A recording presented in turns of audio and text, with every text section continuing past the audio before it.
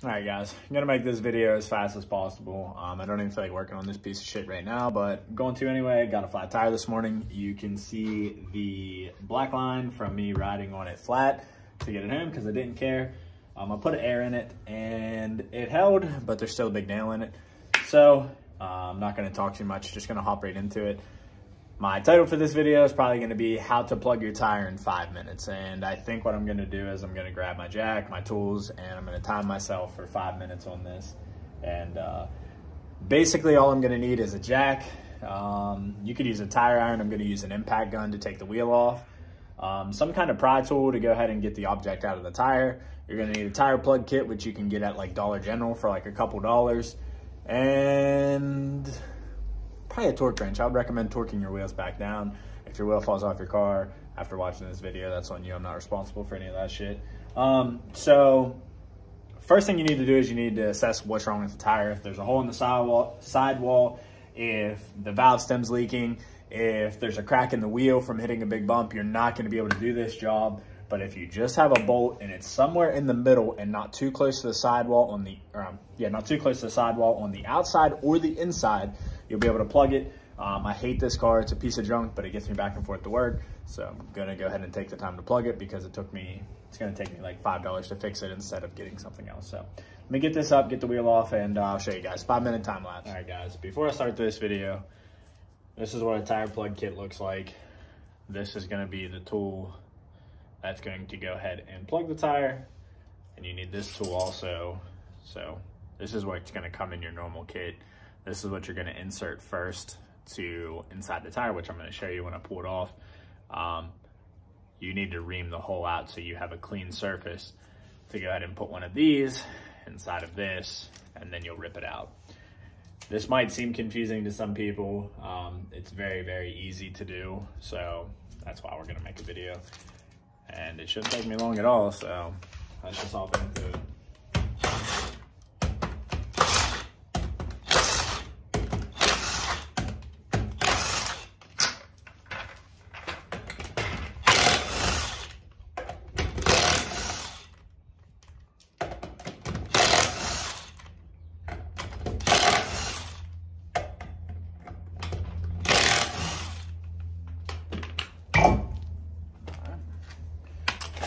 So the wheel's off and you can see, roll back right here.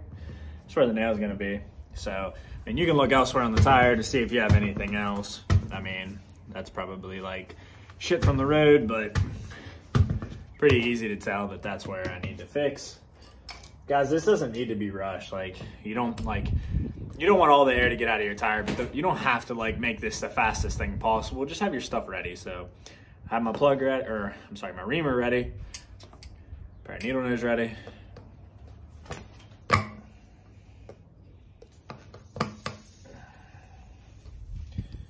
Might have to get a bigger pair of pliers. Come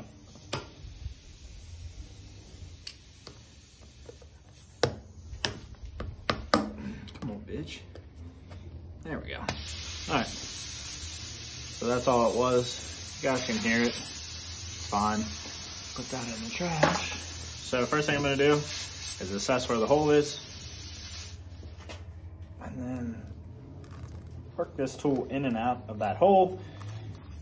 You would think like, oh, why are you putting a bigger hole in the tire? Why are you doing this? It has to have a clean surface for when you put that plug in there. So just twist it like maybe 10, 12 times. I don't have an answer for that. Well, Alexa, just twist it like 12. And you hear the air still coming out, it's fine. I'm gonna leave that in there right now. And while I'm leaving that in there, I can still hear the air seeping out. I'm gonna take one of the plugs out of here. It's like tar is what it feels like.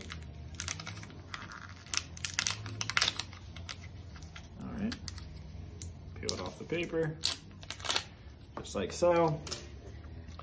I peel it off the paper, there's like the little hole insert in there. Gonna go ahead.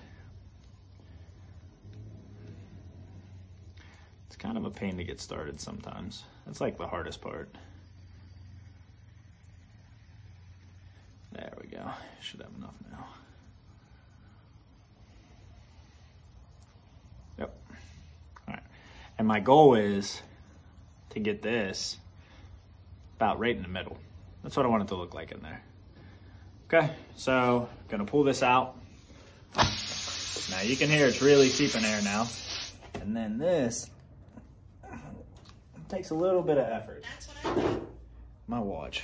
All right, so it takes a little bit of effort. Ah, a little bit of weight. So, I didn't get that. come on.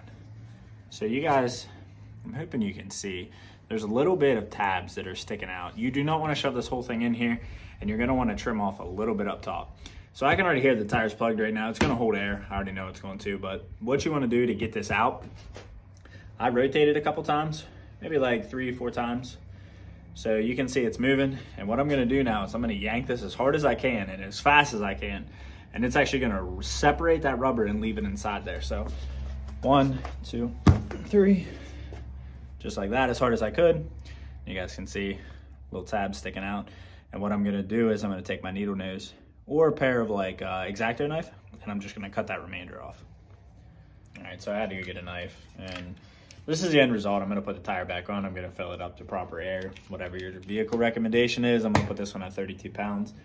Um, just make sure you're torquing the wheel back down before you put it back, but that's how you want your plug to look. You want it to look flush. Um, you run it over a few times on the road and it'll get all the way down in there. The reason you want to flush is because if it has too many ears, like if they're too tall, it's actually going to rip it out of the tire when you drive. So pretty easy, guys. I know it's like a five minute video. and that's all it really needs to be.